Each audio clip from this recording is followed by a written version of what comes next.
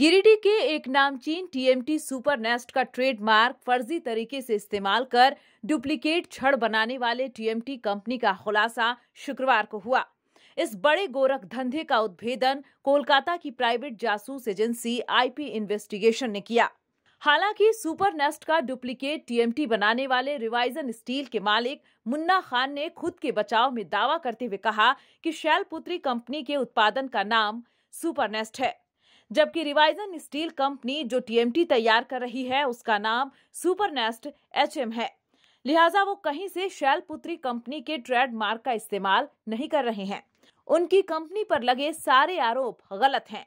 इधर मामले में प्राइवेट जासूस एजेंसी के सीनियर टोटोन चक्रवर्ती और शैलपुत्री स्टील के निदेशक राकेश कुमार ने आरोप लगाते हुए कहा कि रिवाइजन कंपनी का पहला नाम इंडियन एलॉयड हुआ करता था। लेकिन इसके बाद इस कंपनी को दूसरे लोगों ने टेक ओवर कर लिया और नए मालिकों में इरशाद खान, मुन्ना खान समेत अन्य ने शैलपुत्री कंपनी के उत्पादन सुपर नेस्ट ट्रेडमार्क का फर्जी तरीके से इस्तेमाल कर अपने रिवाइजन स्टील कंपनी में उत्पादन करना शुरू कर दिया, जो पूरी तरह से अवैध है और धोखाधड़ी के दायरे में आता है।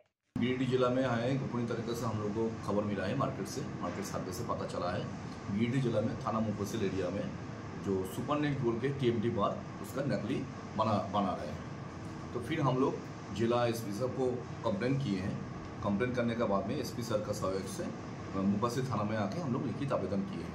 लिखित आवेदन के बाद में थाना का पूरा बल से एस डी पी ओ साहब भी थे सब ज्वाइंट रेड हुआ है जो आपका मख्तरपुर मख्तरपुर एरिया में मोहनपुर। मोहनपुर एरिया में एलाइड इंडिया जो फैक्ट्री था, वो एलाइड इंडिया अभी चेंज हो गया दूसरा नाम हो गया बोल के कोई खान साहब का फैक्ट्री है रिचकॉन स्टील उसमें मैनुफैक्चरिंग हो रहा था मैनुफैक्चरिंग यूनिट है। इसमें हमारा सुपर नेक्स्ट का एकदम piracy trademark and copyright violation हो रहे हैं। तो उसका ऊपर हम लोग अभी थाना में कॉम्प्लेन के कॉम्प्लेन देने के लिए आए हैं, जहाँ पे करीब करोड़ों का सामान, माल मिले हैं, लेकिन अभी उधर में कुछ जब्त नहीं हुआ है।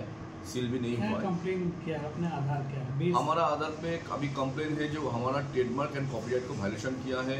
हमारा कंपनी का हमारा क्लाइंट का बिज़नेस मार्केट खराब कर रहा है मार्केट घट रहा है। और इसमें जो ये लोग जो क्वालिटी दे रहे हैं कंपनी का हमारा कंपनी का जो नाम से क्वालिटी इतना लो क्वालिटी है जिसमें जनरल पब्लिक के लिए हानिकारक है। कहीं भी बिल्डिंग तोड़ सकते हैं ब्रिज तोड़ सकते हैं बहुत आदमी मर भी जाएगा इसका जमींदारी अगला दिन कौन होगा? की बात कर रहे हैं उन उसका डुप्लीकेट तैयार हो रहा है। हाँ एकदम सेम टू सेम पायरेसी कर रहे हैं। हमारा जो इसमें लिख रहा है एस आर सुपर नेक्स्ट वो लोग लिख रहे हैं एच आर सुपर नेक्स्ट जो इसका जो एच आर सुपर नेक्स्ट वो रिफ्यूज है। और इनको एक साल पहले लीगल नोटिस भी किया हुआ था जो आप इनलीगल पायरेसी स्टॉप करिए। फिर भी कंटिन्यू पायरेसी कर रहे हैं कंटिन्यू मार्केट में ये माल सेलिंग कर रहे हैं। सुपर नेक्स्ट हमारा एक ब्रांड है जिसको मार्केट में कॉपी करा जा रहा है एलाइड इंडिया की तरह। एलाइड इंडिया के ओनर उसका कॉपी कर रहे हैं पिछले एक साल allied India allied India plant allied India ही है जिसको डिस्कॉन स्टील के नाम से नया रजिस्ट्रेशन कराया गया हाँ। उसमें वो सुपर नेक्स्ट का कॉपी कर रहे हैं हमारे पिछले एक साल से। मैंने उनको लीगल नोटिस भी दिया था कई बार फ़ोन से भी बताया लेकिन कोई रिप्लाई नहीं है और कंटिन्यू माल बना रहे हैं। उनका क्वालिटी बहुत लो है जिसके कारण हमारा मार्केट में गुडविल भी खराब हो रहा है क्योंकि सरिया में सुपर नेक्स्ट ही लिख रहे हैं जिसके कारण क्या है ना बाज़ार में जहाँ भी माल जा रहा है वहाँ से रिटर्न कंप्लेन आने लग रहा है। अच्छा सरिया में जो क्षण है जी। उसमें एच आर सुपर नेक्स्ट है या सिर्फ़ super next H R H M super next है उनका और मेरा सिर्फ़ सुपर नेक्स्ट तो लोग क्या है कस्टमर को कन्विंस करके माल बेचा जा रहा है हमसे सस्ता में माल बेच रहे हैं तो इससे क्या है ना हमारा मार्केट में गुडविल भी खराब हो रहा है और हमारा सेल भी डाउन हो रहा है। पिछला एक साल से काफ़ी परेशान है हम इससे। अच्छा। करोड़ों का नुकसान लग चुका है इसके कारण। करोड़ का नुकसान लग चुका है। जी। कौन है उस फैक्ट्री के मालिक? अभी मुन्ना खान है और इरशाद खान। प्राइवेट जासूस एजेंसी के सीनियर का यह भी दावा है कि गुरुवार को जब एजेंसी ने अपने सहायकों के साथ गिरिडीह पहुंचकर रिवाइजन स्टील कंपनी में मुफस्सिल थाना पुलिस के सहयोग से जाँच की तो पुलिस ने भी बड़े पैमाने पर सुपर नेस्ट टीएमटी का स्टॉक देखा। जबकि दूसरे दिन जब मुफस्सिल थाना पुलिस को रिवाइजल स्टील के मालिकों और प्रबंधन के खिलाफ केस दर्ज करने को लेकर कुछ दस्तावेज़ दिए गए तो एसडीपीओ अनिल सिंह शैलपुत्री फैक्ट्री के मालिक राकेश के नाम और फैक्ट्री का पता गलत होने का हवाला देकर रिवाइजल फैक्ट्री के प्रबंधन के बचाव में दिखे। प्राइवेट जासूस एजेंसी के सीनियर का दावा था कि एसपी अमित रेणु को पूरे मामले की जानकारी देने के बाद एसडीपीओ द्वारा कोई गंभीरता नहीं दिखाई गई।